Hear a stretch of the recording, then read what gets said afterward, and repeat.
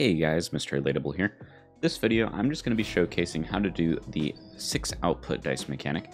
As I recently showed off a video only doing 3 outputs, but I've gotten a lot of questions and comments kind of asking how to do the 6 output, and I don't really feel like I explained it all that well in the other video.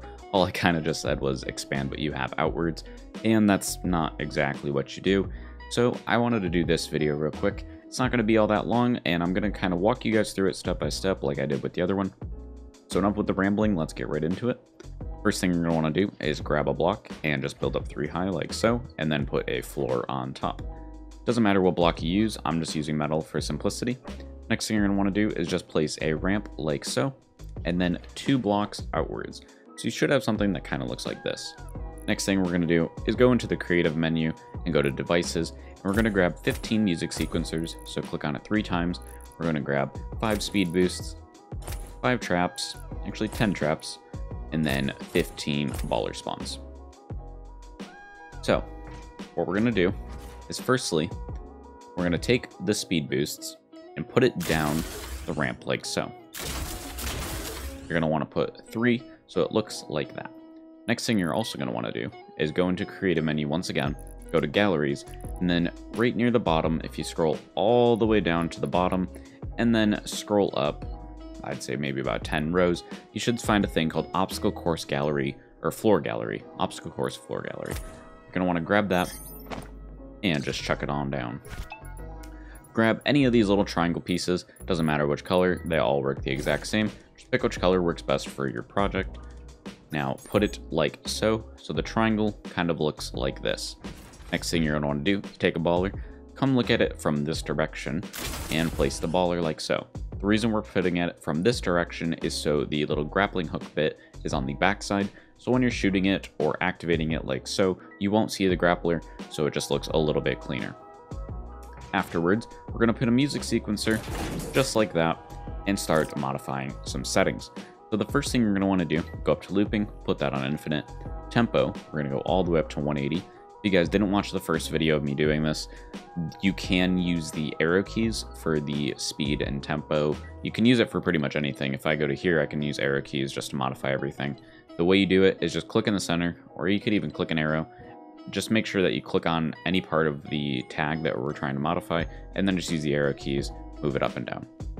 Length, put it on whatever output amount that you want. So we're doing 6. Width, we'll go half. Height, we'll go half. Trigger type is going to be an on-off switch. Trigger is active, make sure that's on always, and then activate on game phase, game start.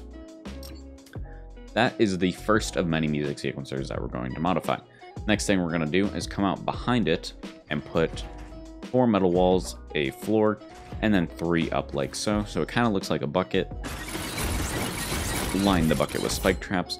What this pretty much does is makes it so when you shoot the baller, going to roll down the ramp, activate the music sequencer, fall into the bucket. The bucket kills the baller, so the baller respawns back up at the top.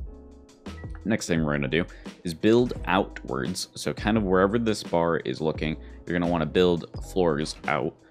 And you're going to want to build however many outputs that you have plus one. So if you have six outputs, you're going to build out seven blocks. So six outputs plus the one, that's going to make seven. If you're doing three outputs, you build out three blocks plus one, that makes four. Next thing you're want to do is kind of come and look at it like this. So you kind of see a T and then place, skip the first block, excuse me, skip the first block and then place your six music sequencers. Like so. Pretty simple. Next thing you're want to do is modify each of these music sequencers so it's the exact same. Tempo, we're to put to a 20. The length width, and height should be normal, half, and then half. Trigger type, make sure it's a trigger. Active should be always. So that's it for that one. Go and do the same one for each and every one of them. Put them down to 20. And then normal, half, half. Should do this for all six of them. Once you're done with that, we'll move on to the next step.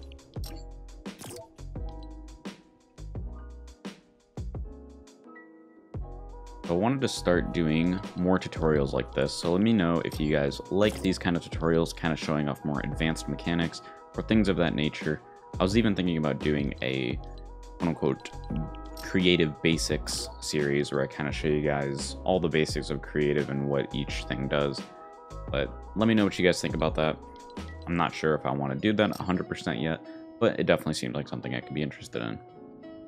So the next thing we're going to do is we need to build out three blocks from the first one and then just kind of expand that downwards. So you should, you should, excuse me, have a 3 by 6 kind of metal plate like so. Go down the line, place music sequencers like so. Skipped one on accident. And modify each of them to the same thing. Tempo is going to be 180, yet again. Now the length is going to be normal. The width and height are also going to be normal, so don't modify anything except for the length. And then the damage needs to be on very low. So you should have something that kind of looks like this, just a little box, nothing crazy. Same thing with this one, up to 180, normal, and then very low. So just go through and do that on each and every one of them, like we did for the previous thing. And once we're done with that, we'll move on to the next step yet again. Normal, and very low. Two more. 180, normal, very low. I'm really excited to see what you guys are going to actually do with this, as a lot of people have given me questions, so I'm hoping you guys will make something and then show me what you guys do if you decide to. So after you have this, they all should kind of look like so, and place six ramps facing like that. Next thing you're going to want to do, grab your ballers, place them like this. The reason we're placing them like this is so the baller faces forward. The way that you know which way the baller is facing is if you rotate the ramps around, if you look at it like this, you'll see this little kind of tag thing, this metal tag. If you look at it like this, the metal tag's at the top, like so, the metal tag's on the left. You want the metal tag to be up at the top. There you are. Next thing we're to do is build more buckets. We built one bucket already. Now we're going to build six. We're going to construct our buckets kind of like this. It kind of looks like that. And then put our walls up in front. But we're going to edit it down like so. So we have a little lip that catches the ball as well as makes it so the players can still see what they got. Next thing, take five more traps, or six more. Gonna have to grab another set of traps. There we go. We should have something that looks like this. Now, here's where the confusing part comes. I'm sure a lot of you guys, if you made it this far on the three output tutorial, you'll know that this part gets a little more confusing. This part is the thing that I don't feel like I explained very well in the other video, so I'm going to try my best to explain it as best as I can in this one. So all we're to do down here is take these and take like the back of the buckets and then just add a floor to it. And now we're to need a little more, more music sequencers. Just to grab 10 more. And now what you're to do is place one like that, skip over two, place one like that. And now turn yourself around. So let me turn off phasing. Turn yourself around so you kind of back yourself into this corner and then place two like so. So you should have one that's facing the right direction and then these two should be facing the left direction. I'm to do the exact same thing over here. Just have two facing the left. Now each of these are to have the exact same settings. So once again, tempo is to be 180. It's always 180, it seems. We're going to put it on 180. Length, we'll put to half, width half, height half. And then also, make sure that trigger is active. Make sure this is on only when not sweeping. This is extremely important that it's on only when not sweeping. If it's not, it'll completely break the entire thing. So make sure that it's on only when not sweeping. 180, half, half, half. And then only when not sweeping.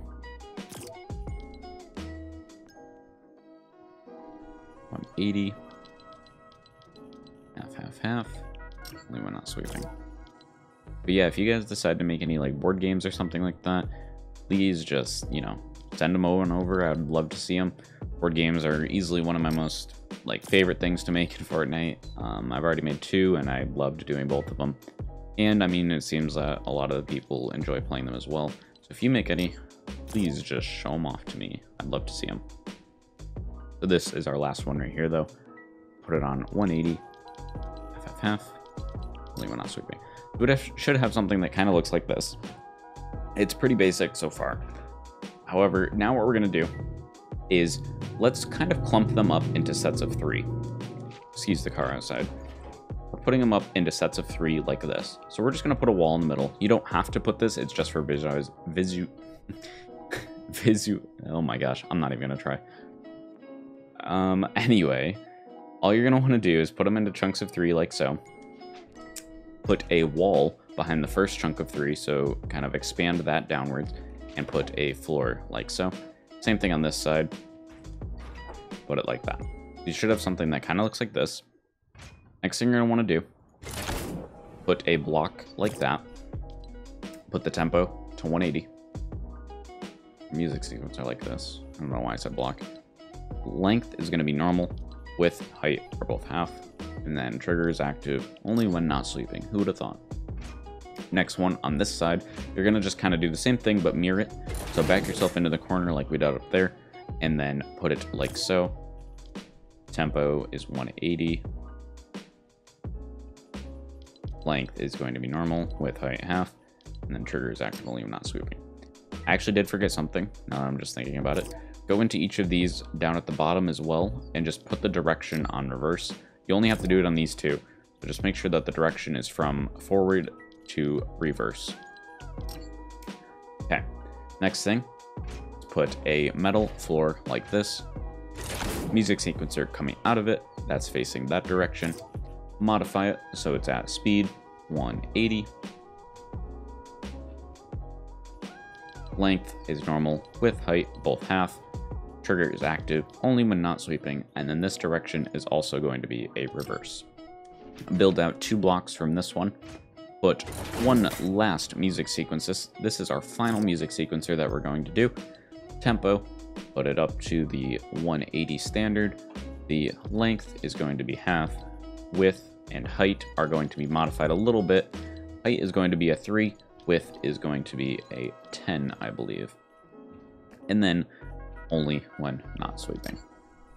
It should look something like this. I believe we are all done if I did everything correctly.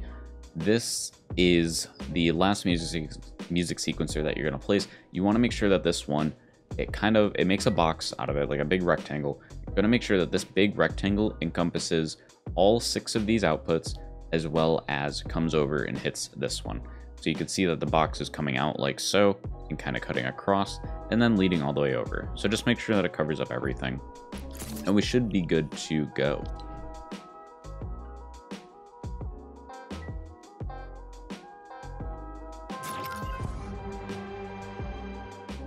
Forgot to give myself a gun as well as I don't have flight powers.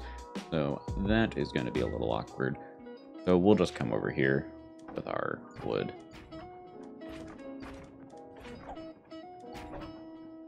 And we should have something that kind of looks like this. This is what your mechanic should look like when it's done. Excuse that. Um, yeah, don't do that. That's not the greatest thing. You're pretty much probably going to just want to have a platform out here that you just shoot the baller. My maps, for example, I always had like a sign that says roll and then an arrow pointing down. Anyways, we're just going to hit this baller. Okay, so we're back. Um, yeah, kind of messed that one up. Gave myself flight as well gave myself a pistol. anyway, this is what your mechanic should kind of look like when it's finished. You should have kind of these rows that keep moving. They'll never touch the end when it's just idle like so. However, you should just have these that kind of look like little dominoes. So next thing we're to do is just shoot the baller to test kind of what it does. We shot the baller, and bam, this one falls down and breaks like so. We'll do it again. Now we got that one over there.